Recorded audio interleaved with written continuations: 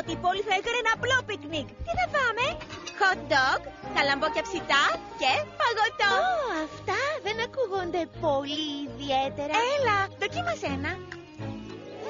το καλύτερο. Ποιο είναι το μυστικό σου; Είναι μαγειρεμένα επάνω σε ενεργό ηφαίστειο. Ναι, Καλή πόλη.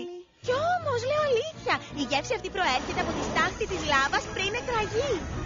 Απλώς χρειάζεται ένα πυρήμαχο ανεμοπλάνο, ένα ιδιαίτερο ξύλο, τέλειο συγχρονισμό και... Ταντά!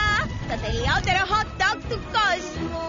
Σιγά καλέ. Συμφωνώ με την δυσπιστία της, αφού μου δώσεις πρώτα το καλαμπόκι. Το ουράνιο καλαμπόκι φυτρώνεις στις κορυφές των ψηλότερων βουνών. Οι σπόροι πέφτουν από αετούς και ποτίζονται από τη δροσιά της. Πάλι μπάγκετ, δεν υπάρχει τέτοιο πράγμα. Όχι,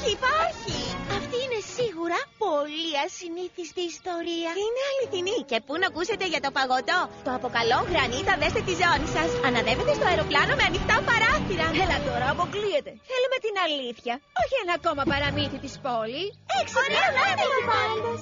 Καλά. Τα αγόρασα από μαγαζί. Πού να αφήσω την υπόλοιπη γρανίτα, δέστε τη ζώνη σας. Αχα, οι φίλοι μου δεν μπορούν να τη φάνε όλοι. Χρειάζομαι ένα κρύο σημείο.